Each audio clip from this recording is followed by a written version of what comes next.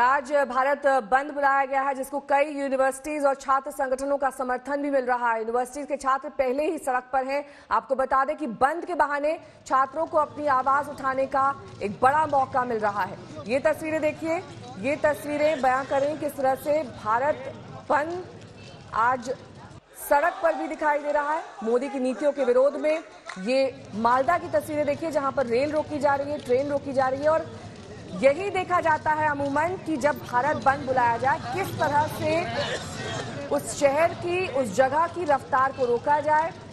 और ऐसा ही कुछ दृश्य मालदा में भी दिखाई दे रहा है, जहाँ पर सड़क पर लोग उतर आए हैं। रेल रोकी जा रही है, प्रदर्शनकारियों ने रेलवे ट्रैक को ब्लॉक कर दिया है और पूरी तरह से बंद का व्यापक असर दिखाई दे। ये सुनिश्चित करने की कोशिश यहाँ के लोग कर रहे हैं। तो बैंक से जुड़े कामकाज आज बंद रहेंगे। सभी बैंकों ने बंद बुलाया है और भारत बंद का आप पर क्या असर होगा? ये ग्राफिक्स के ज़रिए आप समझ सकते हैं। प्रदर्शन की वजह से रास्ते बंद हो सकते हैं ट्रैफ़िक जाम हो सकता है एटीएम में कैश की किल्लत हो सकती है और फ़्लाइट अगर आपकी है तो आप अतिरिक्त समय लेकर चलिए क्योंकि आप रास्ते में फंस सकते हैं।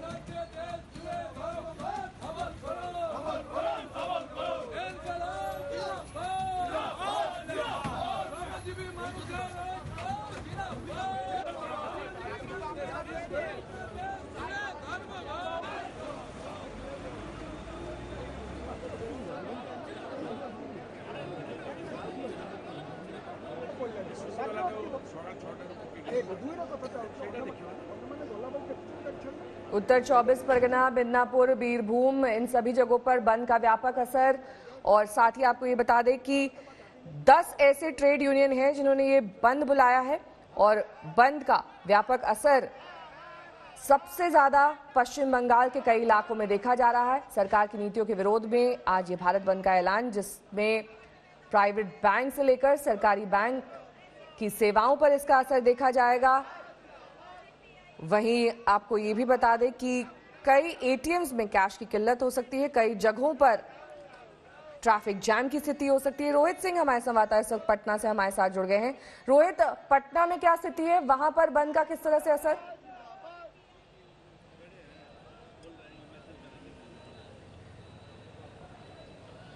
देखिए, जहाँ तक बैंक्स की बात है बैंक्स तो आज बंद रहेंगे हड़ताल की वजह से, लेकिन जो ट्रेड यूनियन से बंद का आह्वान किया है उसमें कई वाम दलों ने उसका समर्थन किया है और मुद्दे लेकिन उनके अलग हैं। जेएनयू का मुद्दा है एनसीआर एनआरसी एनपीआर और सीए के मुद्दे पर उन, लो, उन लोगों ने आज जो है इस बंद को समर्थन दिया है और राजेंद्र नगर रेलवे टर्मिनल पर हम यहाँ मौजूद हैं और यहाँ पर छिटपुट संख्या में जो प्रदर्शनकारी पहुँच रहे हैं जाप के हो या फिर आयसा के लोग हो यहाँ आ रहे हैं लेकिन आप पुलिस की बंदोबस्ती देख सकते हैं कितनी ज़्यादा संख्या में यहाँ पर पुलिस बल मौजूद है ताकि जो प्रदर्शनकारी है वो प्लेटफॉर्म रेलवे स्टेशन के अंदर ना जा सके और ट्रेन रोकने का जो उनका जो एक इरादा है वो उसमें सक्सेसफुल ना हो पाए उसके लिए जो है यहाँ पर भारी संख्या में पुलिस बल की जो है वो तैनाती की गई है। यहाँ कितने कुछ लोग आ रहे थे यहाँ प्रदर्शनकारी से बताइए। जी जी जी।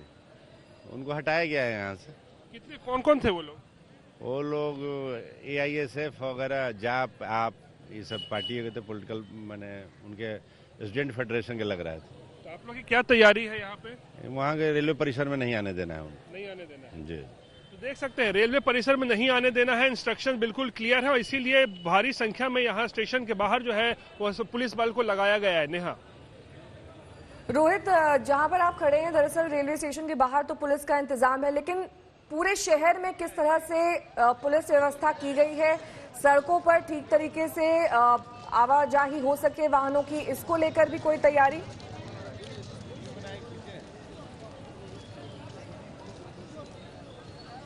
जी देखिए, तैयारी पूरी है, क्योंकि जैसे मैंने बताया, ट्रेड यूनियंस की हड़ताल है तो बैंक सेवाओं पर तो इसका असर पड़ेगा ही तो और तमाम बैंक्स बंद रहेंगे एटीएम में भी पैसों की किल्लत हो सकती है, लेकिन जो प्रदर्शनकारी है, खासकर जो मुद्दे हैं, यहाँ पर मुद्दे, जो जेएनयू का मुद्दा है, या फिर एनआरसी और सीए का मुद्दा है, इसको लेकर आज आयसा और पप्पू यादव की पार्टी के लोग जो है, उन्होंने इस बंद को समर्थन दिया है। और ऐसा माना जा रहा है कि दिन के करीब, तकरीबन 11-12 बजे शहरों में भी ये लोग निकलेंगे प्रदर्शनकारी और कुछ न कुछ करने की ज़रूर इनकी कोशिश होगी। लेकिन पुलिस ने अपने तौर पर जो है, पूरी तैयारी की हुई है, जैसा कि हमने स्टेशन पे ही दिखाया कि सुबह से ही यहाँ पर भारी संख्या में पुलिस बल मौजूद है और शहर की भी यही हालात है, ताकि कोई प्रदर्शनकारी कोई ऐसी घटना को अंजाम न दे सके, इसके लिए सरकार और पुलिस प्रशासन जो है पूरी तरीके से तैयार है।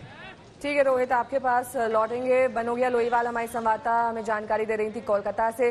बनोगिया, आप बता रही थी किस तरह से सबसे ज़्यादा बंद का असर बंगाल के अलग अलग इलाकों में दिखाई दे रहा है, लेकिन ममता बनर्जी की तरफ़ से ये भी कहा गया है कि अगर किसी व्हीकल को डैमेज किया जाता है तो छह लाख तक का इंश्योरेंस कवर मिलेगा।